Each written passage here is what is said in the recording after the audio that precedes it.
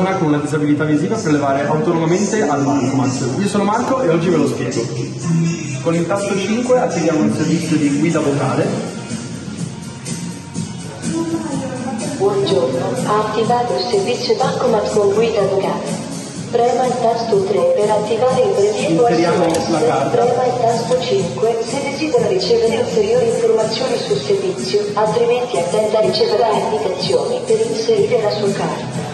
Può abbassare il volume di questa voce premendo il tasto 7. Può alzare il volume di questa voce premendo il tasto 9, prema il tasto 8 se desidera oscurare lo schermo.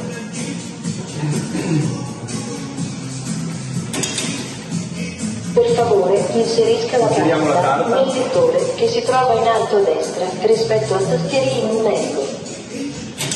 Attenda, prego, operazioni in corso. Attendiamo. Se desidera effettuare un prelievo, prego. 1. Se desidera fare una ricarica Premiamo generale, uno per il prelievo. 2. Al prelievo potrà essere applicata una commissione se previsto dalla sua banca.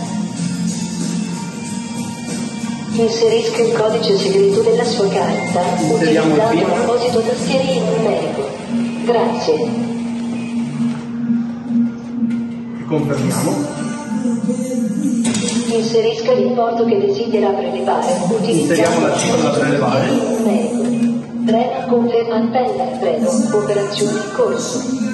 Ha scelto di prelevare un importo pari a 200 euro. Prema conferma per proseguire, altrimenti prema il tasto.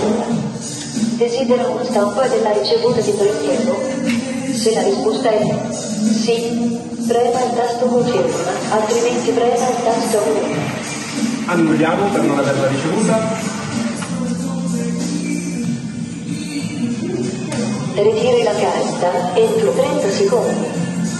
Ci dice di ritirare la carta.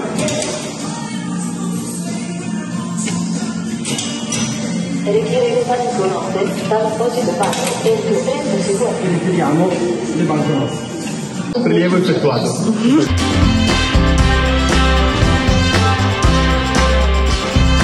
Sono eh, Vincenzo Ferrante, eh, vicepresidente nazionale di Consuma Italia. Il consiglio che mi sento di dare ai consumatori è quello che se si accorgono di un'operazione che non riconoscono e che è stata addebitata sul proprio conto, sulla propria carta di credito, è importante sapere che è possibile contestarla. Il cliente deve avvisare del furto, dello smarrimento o dell'operazione non autorizzata non appena ne viene a conoscenza, perché una comunicazione tempestiva impedisce ulteriori pagamenti da parte dei truffatori e in generale dimostra la diligenza del cliente. Quindi se il cliente si è comportato con attenzione secondo le regole del contratto ha il diritto al rimborso delle somme eventualmente sottratte.